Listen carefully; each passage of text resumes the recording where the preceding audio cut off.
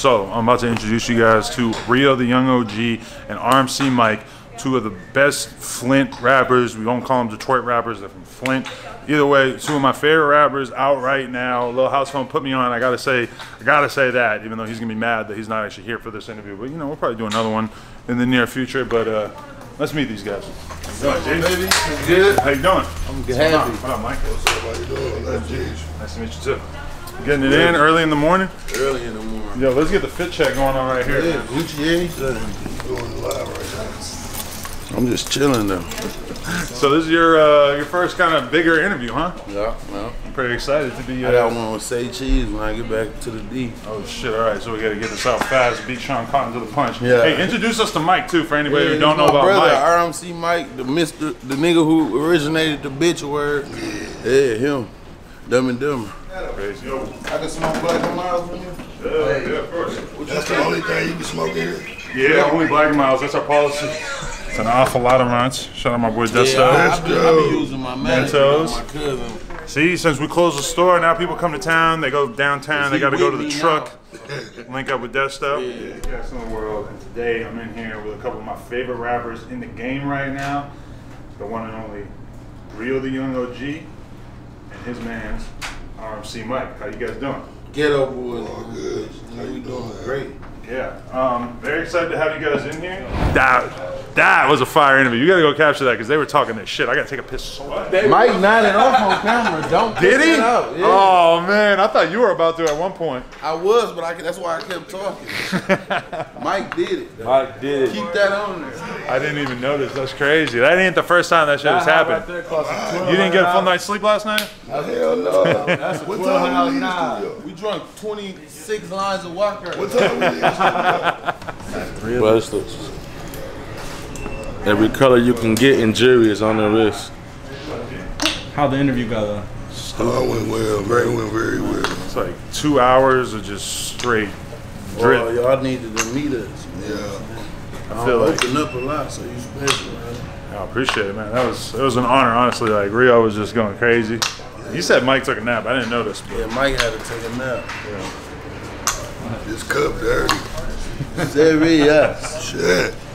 I was thinking, man, I gotta fucking get some kind of carbohydrates in my body right now. Who we got over here? Estevan Oriol. He's like a legendary LA uh, photographer and artist and shit. He's like worked super, super closely with Mr. Cartoon throughout his whole career. I did the interview with Mr. Cartoon a couple of years, well, maybe a year ago. So it was only a matter of time, and he actually just helped mastermind make the documentary. LA Original, it's an amazing documentary on Netflix that you should all go watch. It's about the feel like. How you doing, man? Good. How about you? Excellent. Just excited about this one too. This is a fucking crazy day. Yeah, my daughter's only like, well, I guess I said that on air, but my daughter's like five days old right now. so Crazy, yeah. just did that. So this is my first interviews uh, back on the back on the grind. That's good. How'd the interview go? Oh, so good. It was about hour forty minutes. Everybody go cop this book. This is I just got gifted this and I'm incredibly honored. What's going on? So we got Black Zacc in here today. We got a whole lot of ice on. Off-white fur hoodie or some shit. I don't know. Kalisha came with her fur coat and her shiny ass pants, you know. Shout out to Pretty Little Thing, no. Zeta go, Adam, Adam, Zeta Oh go. shit, nice to meet you, man. How you doing? Yes, What's going on? Son. Epic, epic interview. Shout out my boy Adam. No jumper. Ballin' like an athlete. They got no jumper. Great. Check it out. This is the first interview I did where I left with a new mask. Never get corona with this. never. You'll never get it with this. We got Bandman Kevo in here. This might be the richest person you've ever seen in this office, right? Look at this dude. Damn, the chain got way more ice here. He got the OnlyFans bag since we last saw him. Seven hundred thousand. Quick, Shit five months. up. Yeah, seven hundred thousand on OnlyFans in five months. What the fuck? Is this all OnlyFans licensed jewelry or what? Yes, sir. God damn. Made hundred thousand dollars off you. And that was crazy. I was realizing, I'm like, damn, if I'm gonna be having Bro, yeah, if these you gonna do that, interviews, that's what I was gonna say, bro. we gotta have a That's what you different kind of though, bro. contract next time. Yeah, bro.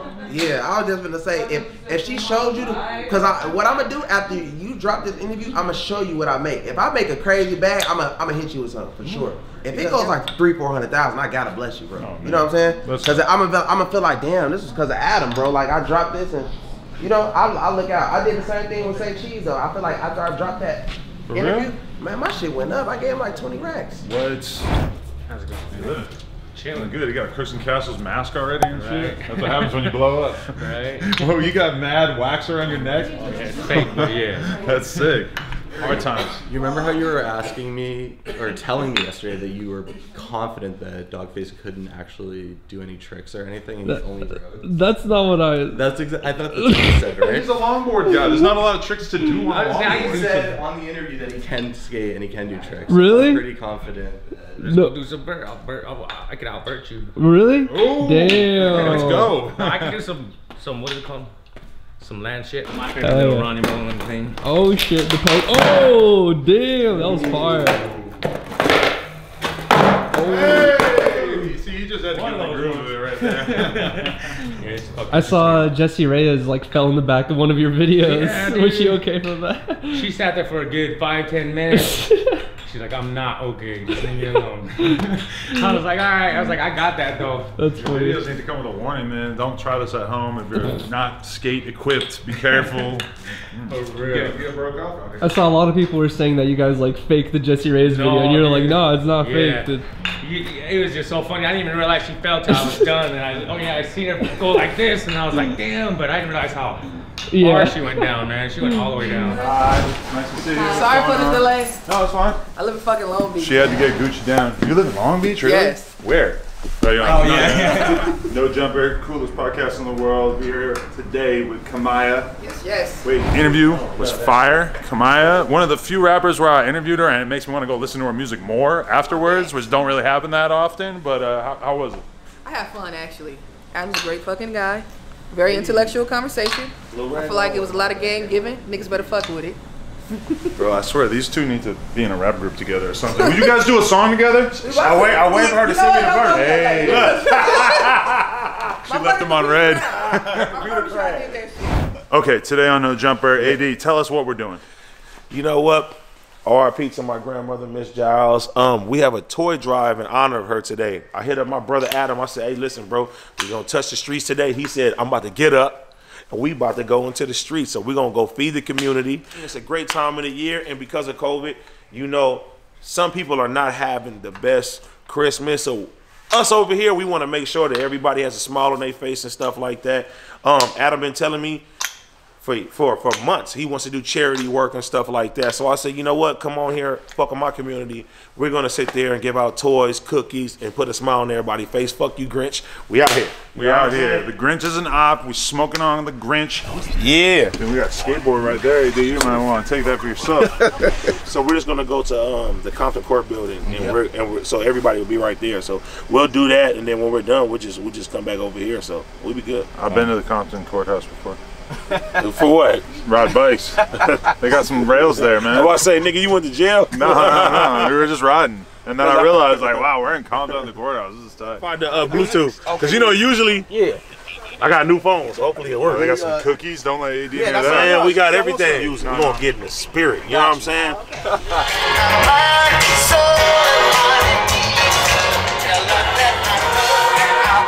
Let me dance. Let's go. Oh, Christmas spirit. We're in the Christmas spirit. This is how he starts off his Tuesday morning. It's like not even 10 a.m. Let me dance. Let's go. How are you guys? How y'all doing? How's it going? Nice to meet you. Appreciate you guys for coming out and everything.